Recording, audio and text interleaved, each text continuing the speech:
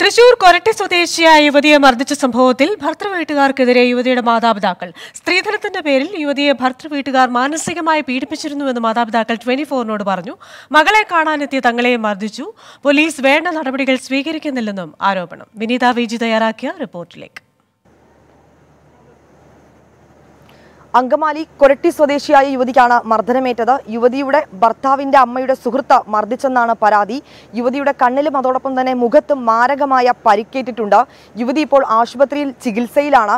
അതേസമയം സ്ത്രീധനത്തെ ചൊല്ലിയും യുവതിക്ക് വലിയ രീതിയിൽ പീഡനങ്ങൾ ഏൽക്കേണ്ടി വന്നുവെന്നാണ് യുവതിയുടെ മാതാപിതാക്കൾ ഇപ്പോൾ വെളിപ്പെടുത്തിയിരിക്കുന്നത്. വിവാഹം കഴിഞ്ഞ നാൾ മുതൽ തന്നെ സ്ത്രീധനത്തെ സംബന്ധിച്ച മാനസിക പീഡനം ഭർത്തൃവീട്ടിൽ നിന്ന് യുവതിക്ക് നേരിടേണ്ടി വന്നതായി മാതാപിതാക്കൾ പറയുന്നുണ്ട്.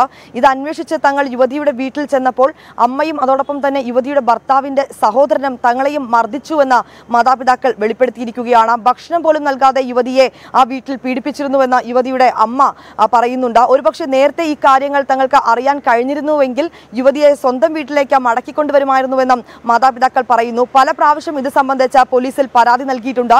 എന്നാൽ കൃത്യമായിട്ടുള്ളൊരു നടപടി എടുക്കാൻ പോലീസ് ഇനിയും തയ്യാറാകുന്നില്ല എന്നൊരു പരാതി കൂടി അവർ മുന്നോട്ട് വയ്ക്കുകയാണ്. ഇത്തരത്തിൽ മാരകമായിട്ടുള്ളൊരു പീഡനം യുവതിക്ക് നേരിടേണ്ടി വന്നിട്ട് കൊരട്ടി പോലീസിൽ പരാതി നൽകിയിട്ടുണ്ട്. എങ്കിൽ പോലും ആ പരാതി വേണ്ട രീതിയിൽ പരിഗണിക്കാനോ അല്ലെങ്കിൽ ഈ യുവതിയുടെ അമ്മായിയമ്മയോ അതോടൊപ്പം തന്നെ ഈ അമ്മായിയമ്മയുടെ സുഹൃത്തിനെയോ വീണ്ടും കസ്റ്റഡിയിലേക്ക് എടുക്കാനോ ചോദ്യം ചെയ്യാനോ ഒന്നും പോലീസ് തയ്യാറായിട്ടില്ല എന്നൊരു ആരോപണം കൂടി യുവതിയുടെ മാതാപിതാക്കൾ മുന്നോട്ട് വയ്ക്കുകയാണ്. പ്രധാനമായും അവർ പറയുന്നത് സ്ത്രീധനത്തിന്റെ പേരിൽ പലതവണ യുവതിക്ക് വലിയ പീഡനങ്ങൾ നേരിടേണ്ടി വന്നിട്ടുണ്ട് എന്നത് തന്നെയാണ്.